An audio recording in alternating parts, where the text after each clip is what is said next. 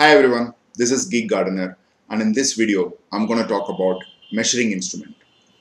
To be specific, humidity and temperature. If you are into crop production inside the greenhouse, it is very important that you measure temperature and humidity perfectly. And more accurate it is, it is easier for you to take actions based on those numbers. And in most of my training programs in the past, I have always been asked about different instruments I use. Specifically, many have asked me about the humidity and temperature measurement. So I thought I'll take this opportunity to uh, give you some insight into the instrument I use and also how it is very helpful for measuring multiple parameters with respect to humidity and temperature. So in this video, we're going to see an unboxing of a humidity sensor, which is also uh, called a psychrometer, considering it gives multiple parameters and not just humidity. So in this, we'll unbox an instrument and see how we can use this instrument to measure relative humidity, temperature, which is dry bulb temperature, which is the ambient temperature, wet bulb temperature, and also dew point temperature. So this gives you an idea about multiple parameters surrounding the temperature and humidity.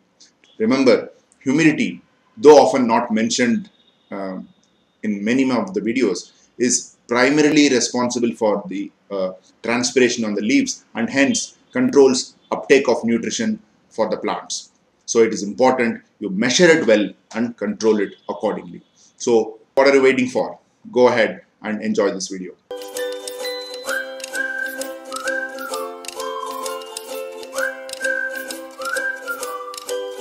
a psychrometer. To be exact, a digital psychrometer is a device that is used to uh, measure the air temperature, the dry bulb temperature, the wet bulb temperature, and as a result of these two temperatures, it is used to derive the humidity of the ambient air and also the relative humidity. Now, well, you can uh, always come up with a dry bulb and a wet bulb temperature and use a psychometric chart to derive the humidity. But it is not always practical to run around with charts and you know uh, derive the humidity. So we are going to use a handy uh, digital meter to come up with the same information, but much more efficient way. Now let's get into the unboxing to it. So this is something I ordered out of Amazon. Uh, so you have a, a 9 volts battery along with that and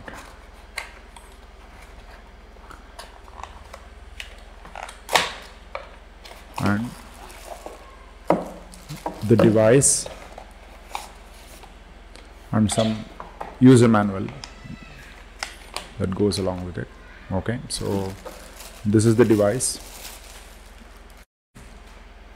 So this is your humidity and temperature sensor and this is where you uh, the buttons to read out. So I'm gonna pop in the battery and uh, let's get going. It's not very complicated. It's very straightforward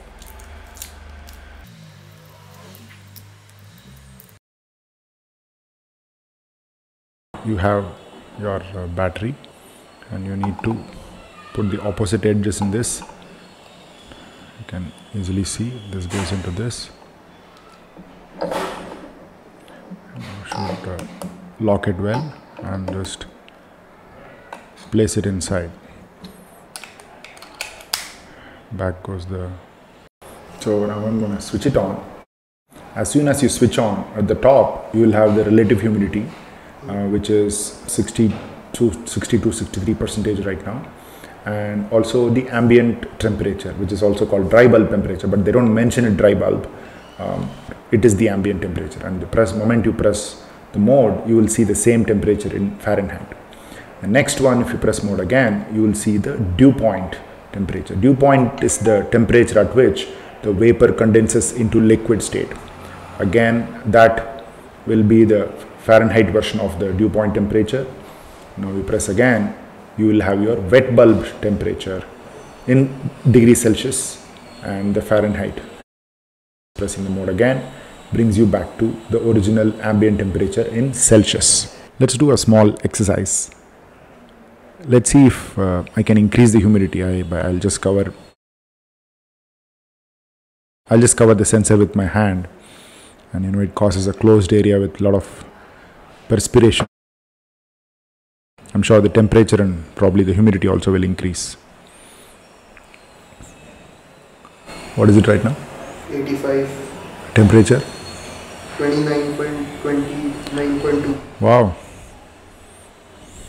I must be hot. So you can see it dropping down rapidly and it will just come down to 63, 62. Yeah, I think we are back again. So I guess, well, that's about it.